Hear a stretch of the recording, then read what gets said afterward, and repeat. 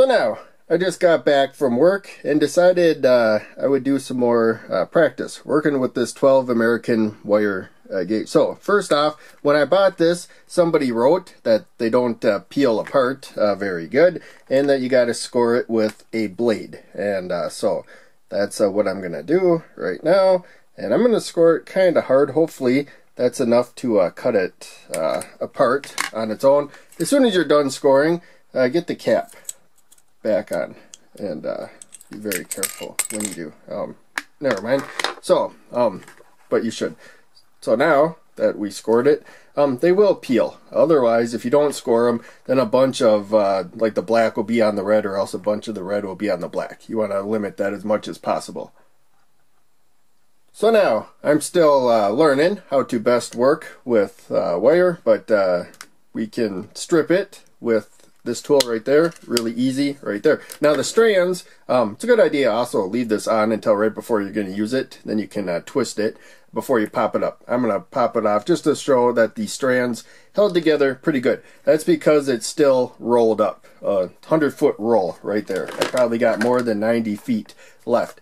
Now, I also got uh, this tool from Klein, so I decided to buy a higher quality tool because uh, a lot of my tools were just uh, kind of the cheapest thing I got on Amazon that would probably uh, work well. But uh, yeah, just squeezed it shut, stuck it in the uh, 12 gauge spot, and uh, it's not sliding as easy as it was uh, before, but I'm also probably removing more. But that does a good job there as well. So now, when we uh, cut the other side here and uh, strip the insulation, we need to hold the strands in place. Right now the strands are being held uh, because it's kind of a long row. So um, this opens, we can insert the wire. I'll do that uh, a little bit later.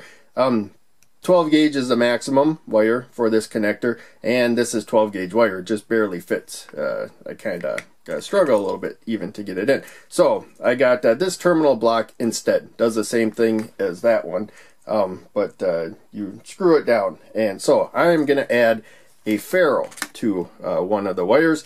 And uh, so this is 12 gauge, so we use the uh, gray uh, ferrule.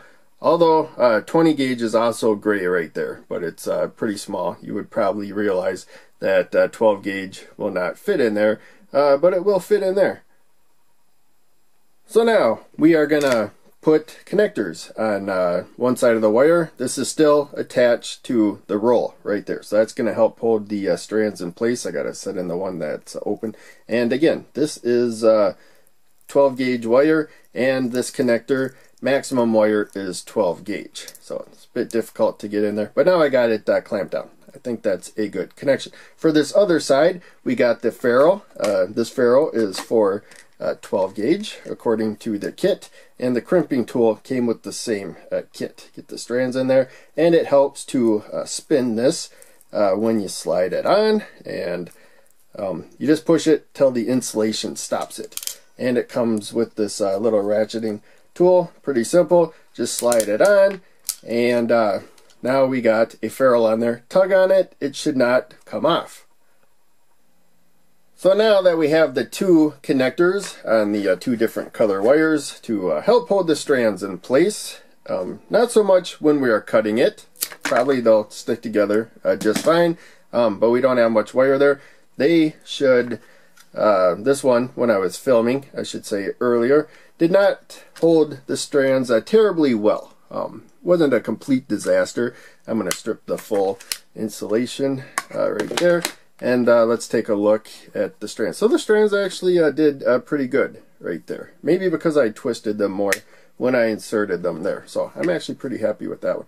And uh, this one here, um, again, pull it.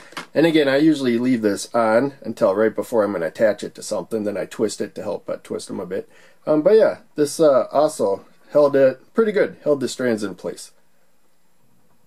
So now, these are both uh, terminal blocks, even though they look uh, quite a bit different. Uh, whatever wire you clamp down in there will make a direct connection to this wire, just like uh, whatever wire you uh, screw down into one of these other holes is a direct connection to this one. Um, I got four of these for $10, maybe it was 11 um, but uh, any case, um, so this is a 10 American wire gauge that fits in really easily. So that's the biggest wire I got, except for mine's a high voltage solar, and so the insulation is thicker than what uh, you got there. I didn't take that into account when I bought it. Um, that was a thing I learned in an earlier video. So this is a 7 American wire gauge. It fits in there, and uh, so I believe that uh, would work. This has a maximum current, according to the seller, of uh, 40 amps of uh, current. I won't push that though, but any case, yeah, it looks like uh, before and after you crimp them, um, they're about the same size.